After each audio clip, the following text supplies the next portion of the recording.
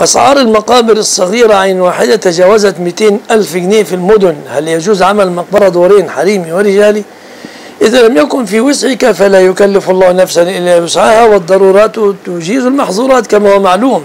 قد فصل لكم ما حرم عليكم إلا ما اضطررتم إليه.